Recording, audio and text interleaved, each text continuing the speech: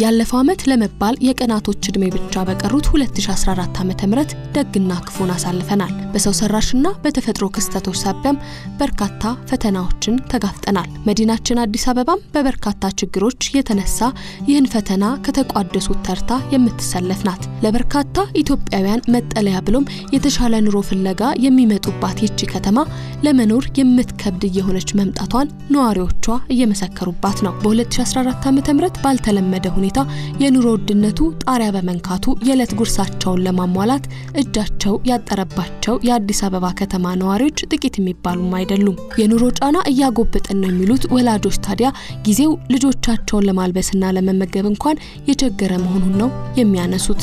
ለልጆቹ ዳቦ ለመግዛት ነው ምንለፈው፣ ግን ላይሆንም ይችላል፣ ላልወጣም ይችላል እና በጣም ከባድ ነው። አሁን አንድ ሌትር ዘይት ሁለት መቶ ሰባ ብር ነው የሚገዛው። ማን ነው ይህንን ገዝቶ የሚበላ? ምንም የሌለ ደዋ ነኝ እኔ። ልጆች አለኝ። እንዴት ነው የማደርገው? ኑሮ በጣም ከባድ ነው። የምናገኘውና እንትን የምንለው በምንም አይገናኝም። የቤት ኪራይ ያለ ስንት ነገር በጣም ከባድ ነው። ልጆችን የማስተዳድረው በዚህ በምሰራው ስራ ነው። ልጆች ሶስት አሉ፣ አንድ ወንድ፣ ሁለት ሴት። ሌሊትና ቀን እየፈጋን ነው እየሰራን ነው ልጆች የምናስተዳድር። ኑሮ በጣም ነው የሚከብድ፣ በጣም ከምንም በላይ ልጆችን ማስተዳደር በጣም ከባድ ነው።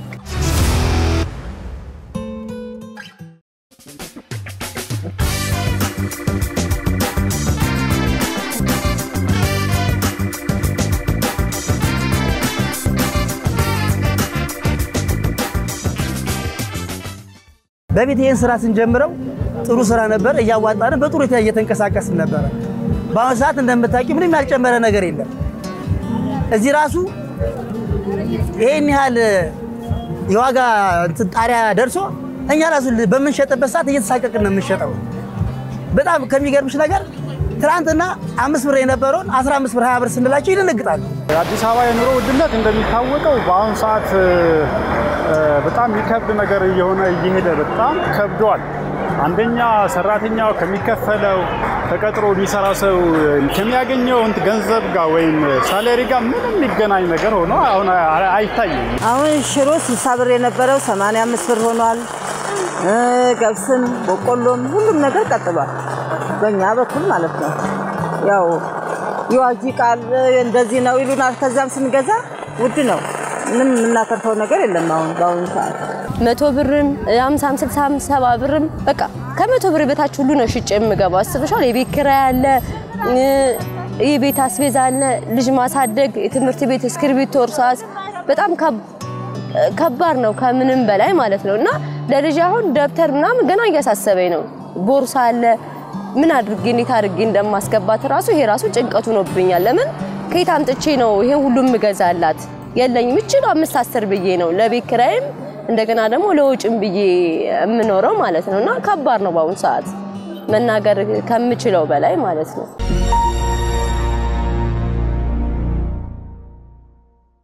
ይህንኑ የነዋሪዎች ጥያቄ ምላሽ እንዲሰጥበት እናደርጋለን ባልነው መሰረት ወደ አዲስ አበባ መዘጋጃ ቤት አቅንተናል። ለጥያቄዎቻችሁ ምላሽ ለመስጠት ፍቃደኛ የሆኑት ደግሞ የአዲስ አበባ ከተማ አስተዳደር ስራ አስኪያጅ አቶ ጥራቱ በየነ ናቸው። ከእሳቸው ጋር በሚኖረን ቆይታም የከተማዋ ነዋሪዎች ያነሱት ጥያቄዎች በመጪው 2015 ዓ.ም በምን መልኩ ለመፍታት ታስቧል ስንል ጠይቀናል። ወደዛው እንለፍ።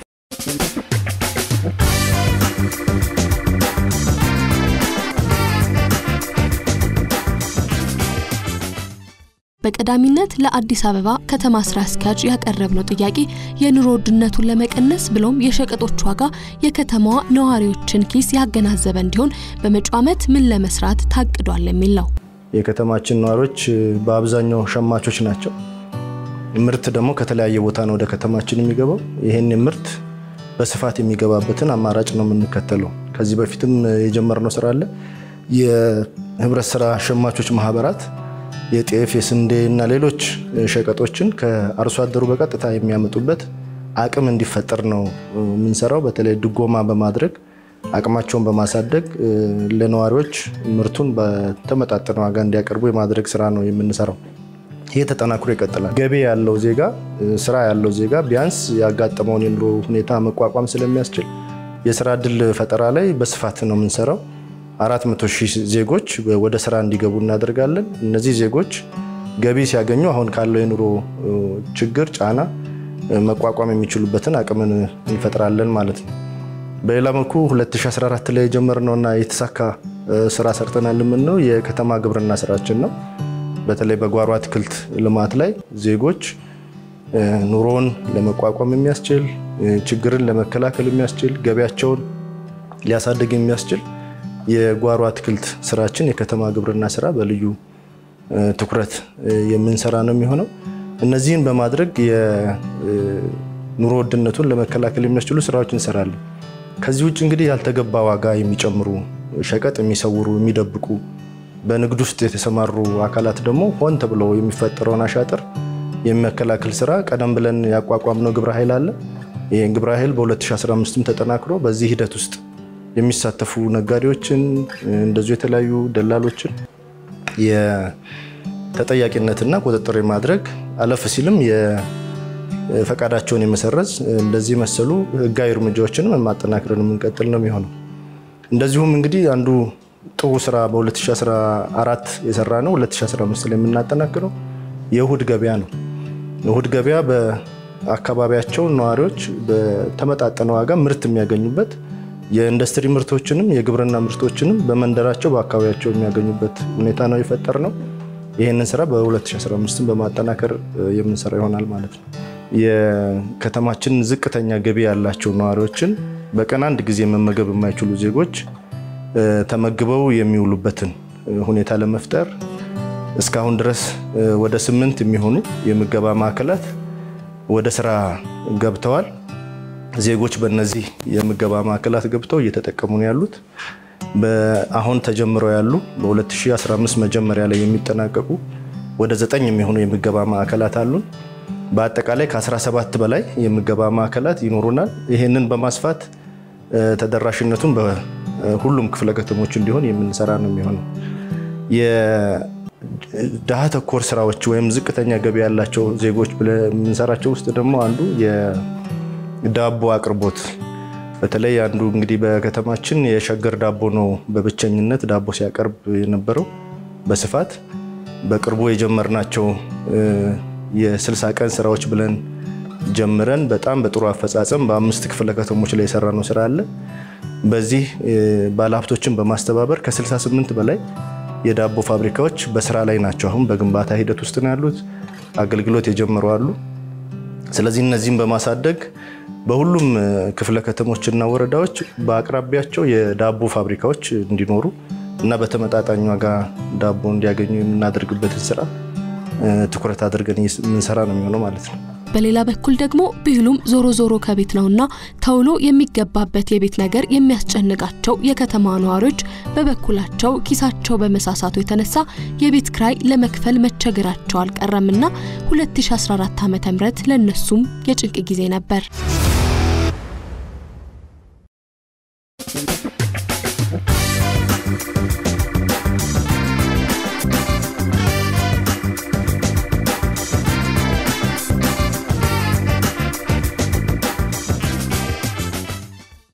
ከእለት ጉርስ ተቀንሶ ኪራይ የሚከፈልበት ጊዜ ላይ ደርሰናል የሚሉት ነዋሪዎቹ ከሌማታቸው እያጎደሉ የቤት ክራይ እየከፈሉ ስለመሆናቸው ይናገራሉ። ቆርቆሮ በቆርቆሮ ነው ያለሁት። ቤት ኪራይ ሞከርኩ ልጆች ይዤ በቃ በጣም ውድ ሲሆንብኝ መጥቼ እዚህ ቆርቆሮ ቤት ውስጥ ነው ያለሁት አሁን በአሁኑ ሰዓት ያውም የልጅ ልጅ ይዤ ነው እኔ እና ችግርማ በጣም አለ ይቸግራል።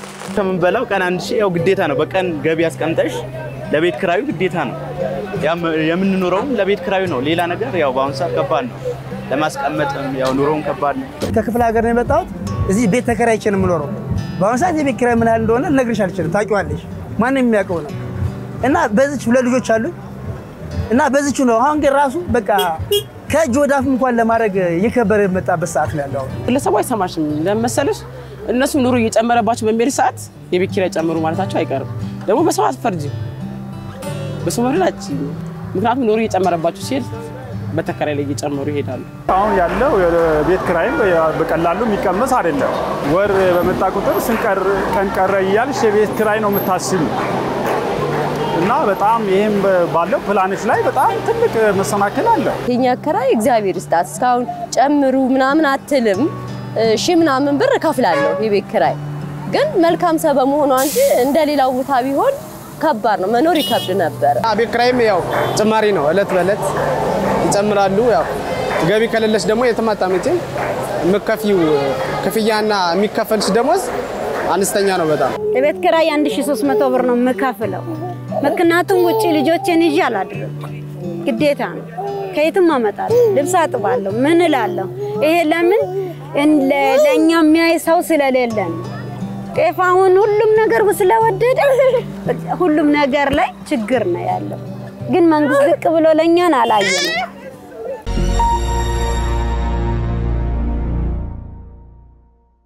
የመኖሪያ ቤት ጉዳይን በተመለከተ የቤት ክራይ ዋጋ መናር እንዳይከሰት ብሎም የዜጎች የቤት ባለቤት የመሆንን ምኞት እንዲሳካ የከተማ አስተዳደሩ በመጪው ዓመት ምን ለመስራት አቀደ ስንል ሌላውን ጥያቄያችንን አስከትለናል። በዚህ ወቅት ከሁሉም በላይ ከቤት ኪራዩ ዋጋ በላይ መተሳሰብና መደጋገፍ በጣም ያስፈልጋል። በዚህ ወቅት ማለት ነው። በተለይ በቤት ኪራይ ላይ ነዋሪዎች ከፍተኛ ምሬት ያቀርባሉ። አከራዮች ከፍተኛ የዋጋ ጭማሪ ያደርጋሉ በቤቶች ላይ። በዚህ ምክንያት የወራዊ ገቢያቸውን ጭምር ለቤት ኪራይ የሚያውሉበት ሁኔታ ነው ያለው ማለት ነው። ስለዚህ ይሄ ጥያቄ ከህብረተሰቡ የመጣ ነው። ላለፉት ተከታታይ ወራት ቤት ዋጋ እንዳይጨምር ደንብ አውጥተናል። ይሄ እንግዲህ ለሚቀጥሉት ስድስት ወራትም የሚቀጥል ነው የሚሆነው አዲሱ ዓመት ላይ። ከዛ በኋላ ያው የሌሎች ተጨማሪ የኑሮ ውድነትን የሚቀንሱ ስራዎች ከሰራም በኋላ እነዚህን ደንቡን የማሻሻል ሁኔታ ይኖራል ማለት ነው። ይሄ የቤት ኪራይ ዋጋ እንዳይጨምር እያስቀመጥን ያለነው ደንብ ሳይቋረጥ ላለፉት ተከታታይ ወራት ነው የቀጠለው። በዚህ መሀል የአንድ ቀንና የሁለት ቀን ልዩነት ደንቡ በሚሻሻልባቸው ቀናት የተፈጠሩ ክፍተቶች ካሉ ይሄ እያረሙ መሄድ ያስፈልጋል። በዚህ ላይ ማለት የሚቻለው በተለይ ቤት አከራዮች ለወገኖቻቸው የሚያከራዩ በመሆኑ አላግባብ የሚጨመረውን ከቤት ማስወጣቱን የመሳሰለውን ከሕግ ማዕቀፍ በላይ በመተሳሰብ መፍታት አለባቸው የሚል እምነት አለን። የጥቆማውን በተመለከተ አሁን የቤት ኪራይን አላግባብ የሚጨምሩ ከቤት የሚያስወጡ የመሳሰሉት ላይ በነፃ ስልክ ጥሪም ህብረተሰቡ ጥቆማ እየሰጠ ነው። በአካባቢው ላለ የክፍለ ከተማ የወረዳ መዋቅራችንም እየሰጠ ነው። በዚህ ላይ የህጉን የተላለፉ ደንቡን የተላለፉ አካላት ላይ ማስረጃ በቀረበባቸው ጉዳዮች ሁሉ የህግ የማስከበር ስራችንን አጠናክረን ነው የምንቀጥለው።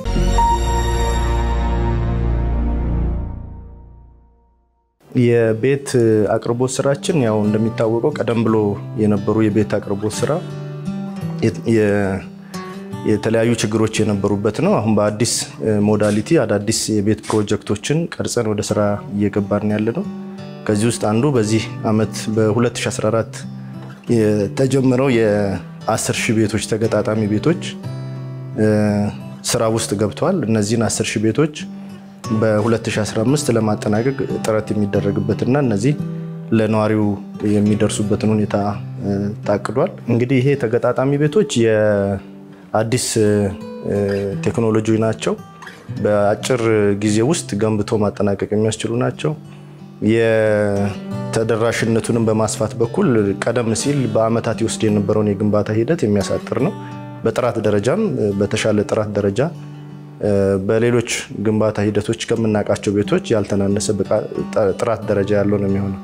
ስለዚህ እነዚህ አሁን በመንግስት የተጀመሩት አንዳንዶቹ በኪራይ የሚተላለፉ ናቸው ለነዋሪዎች፣ በሌላ መንገድ ደግሞ በቀጥታ ነዋሪዎች ከፍለው ልክ ሌሎች ቤቶችን እንደሚወስዱት በብድር የሚወስዱበት ስርዓት የጀመር ነው ማለት ነው። በተጨማሪ እንግዲህ የግል ባለሀብቱ በቤት ልማት ውስጥ በተለይ አዳዲስ ቴክኖሎጂዎችን በማምጣት በ60 ሰባ ቀናት ውስጥ ባለ ዘጠኝ ባለ አስር ወለል ህንፃ መገንባት እንደሚቻል አይተናል። ስለዚህ ይህንን ቴክኖሎጂ በማስፋት የቤት ግንባታ ስራችንን በአዲስ ሞዳሊቲ የምንጀምርበት ዓመት ነው የሚሆነው።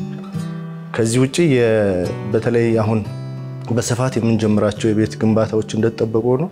በዝቅተኛ ደረጃ ያሉ የቀበሌ ቤቶች፣ ያረጁ ቤቶችን በማደስ እና የተሻለ የቤት ይዞታ እንዲኖራቸው በማድረግ የቤት ችግሮችን በሁለተኛው በዚህኛው መንገድም ለመፍታት ጥረት የሚደረግ ነው የሚሆነው ማለት ነው። ሌላው የአዲስ አበባ ነዋሪዎች የ2014 ዓ.ም ጭንቀት ደግሞ በሰላም ወጥቶ መግባት አሳሳቢ ደረጃ ላይ መድረሱ ነበር።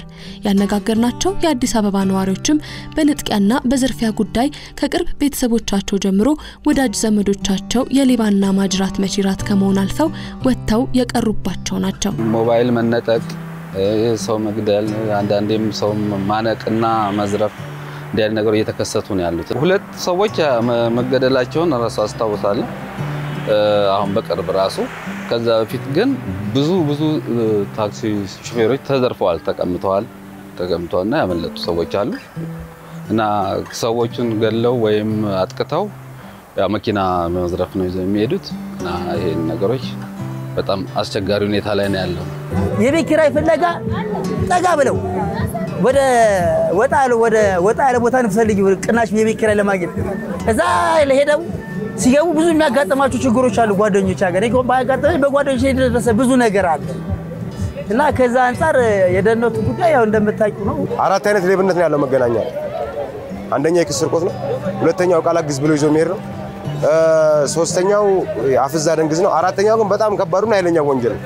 የሰው አደጋ የሚያስቀጥፍ ማለት መኪና እየሄደ ከመኪና ላይ እቃ ማንሳት፣ ሹፌር ተደናግጦ ሰው የመግጨት ማለት ነው። ድሮ ማለቴ ነው እስከ 24 ሰዓት መኪና ውስጥ ቆይተን አድራ እንሰራለን።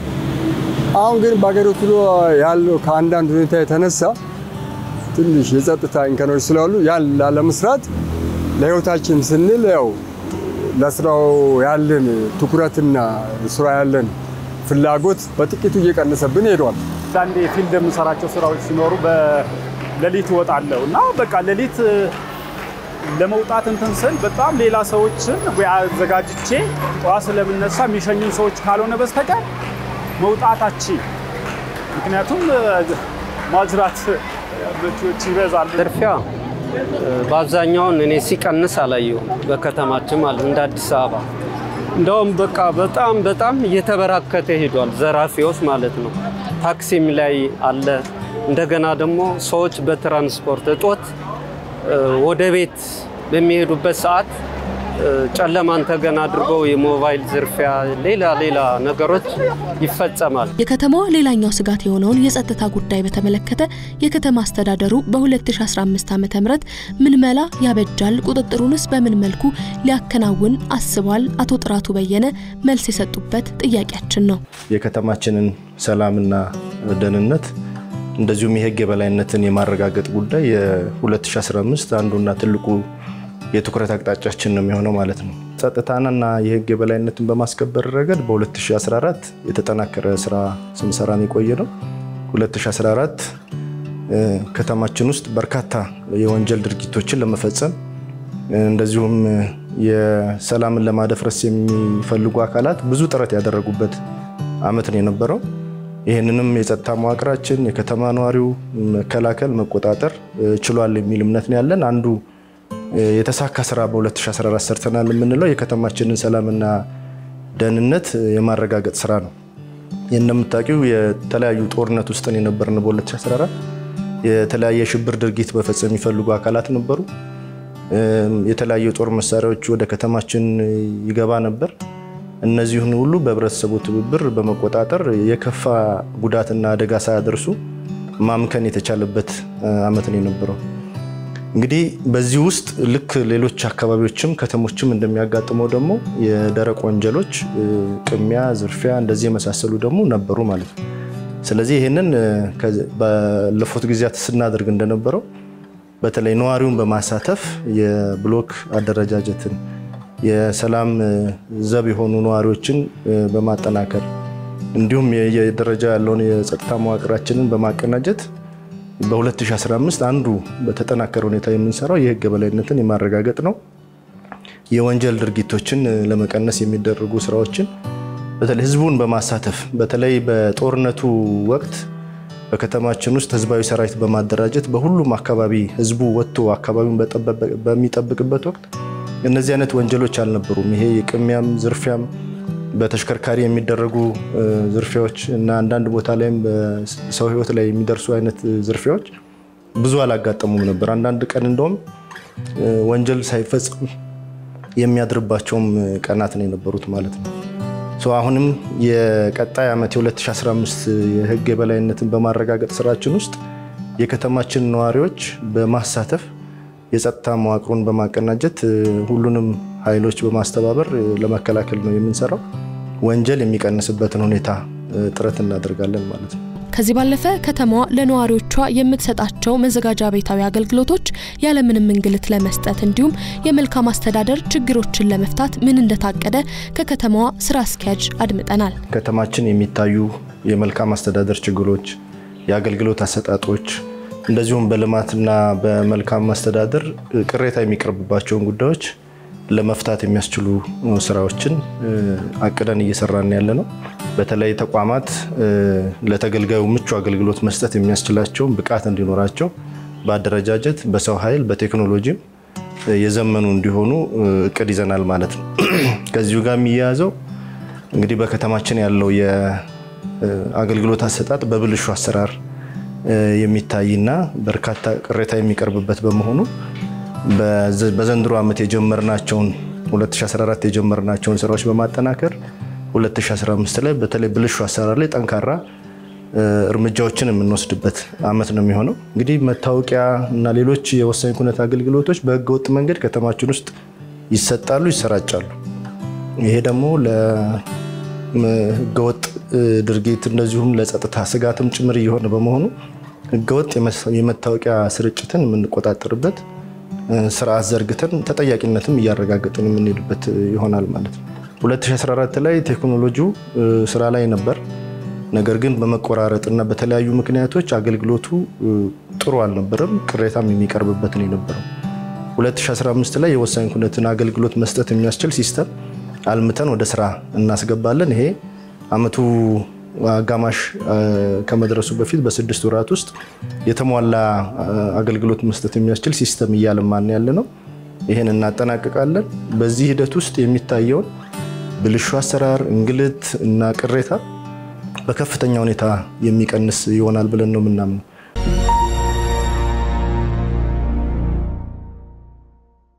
የከተማ አስተዳደሩ በመኖሪያ ቤት በሰላምና ደህንነት ጉዳይ ብሎም በመልካም አስተዳደርና በአገልግሎት አሰጣጥ ዙሪያ በመጪው በ2015 ዓ.ም ለመስራት የወጠናቸውን እቅዶች አድምጠናል። ለመሆኑ የከተማ አስተዳደሩ ከነዋሪዎቹ ምን ይጠብቃል? ከተማችንን ለነዋሪዎች ምቹ ለማድረግ የጀመርናቸው ስራዎች በሙሉ በህብረተሰቡ ትብብርና አንድነት ውጤት የሚመጣባቸው ናቸው። ስለዚህ ይህን በማድረግ 2015 ያሰብናቸው ግቦች ተሳክተው ከተማችን ሰላም ሆና በተለይ የህዝቦች አንድነትና ትስስር ተጠናክሮ ለሁላችንም የምትመች የሁላችንም የሆነች አዲስ አበባን ለመገንባት ጥረት እናደርጋለን። ይህም ይሳካል የሚል ሙሉ እምነት አለኝ ማለት ነው። ያለ ሰላም ምንም ነገር ልንሰራ አንችልም። ያቀድናቸው ግቦች ሊሳኩ አይችሉም። ሰላም ደግሞ በሁላችንም ትብብርና ጥረት የሚመጣ ነው። ሰላም ካለ ልማቱንም ያቀድናቸውን ግቦች ማሳካት እንችላለን። ስለዚህ የከተማችን ነዋሪዎች፣ ወጣቶች ሁሉም በሰላም ላይ የጀመርናቸውን ስራዎች አጠናክረው እንዲሰሩ፣ እንዲያግዙ፣ በዚህ እንዲሳተፉ በዚህ አጋጣሚ መልእክት ማስተላለፍ ፈልጋለሁ።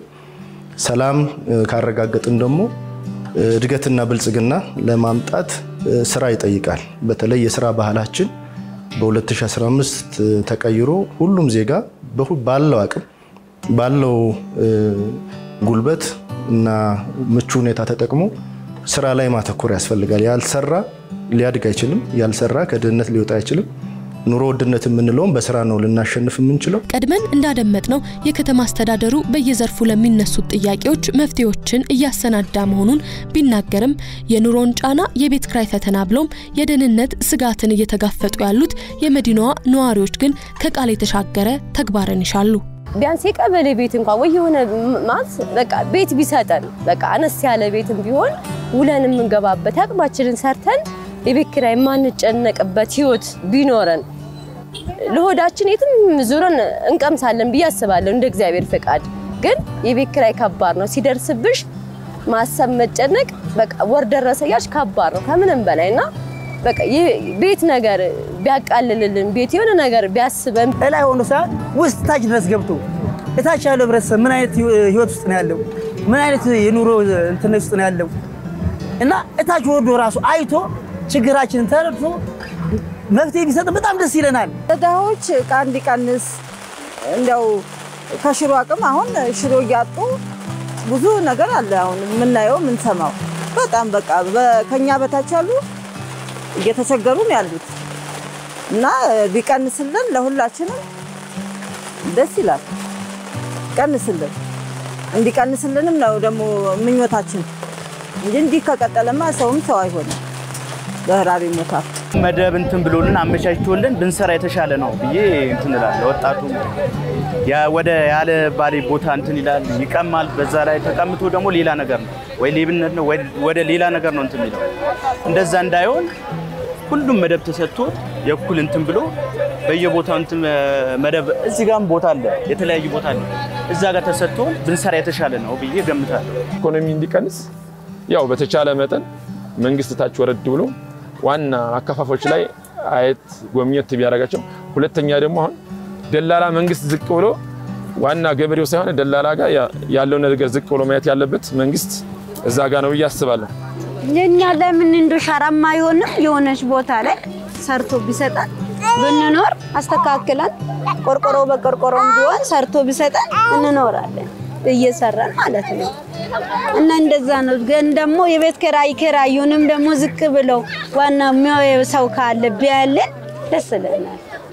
ምክንያቱም አሁን ይሄ ሰርቼ 1300 መክፈል ማለት ከባድ ጭር ያለ ቦታ አካባቢ ላይ ጥበቃዎች ቢበዙበትና ፖሊስ በደንብ አካባቢ ላይ ቢከታተልን ጥሩ ነው ብዬ አስባለሁ። በ2015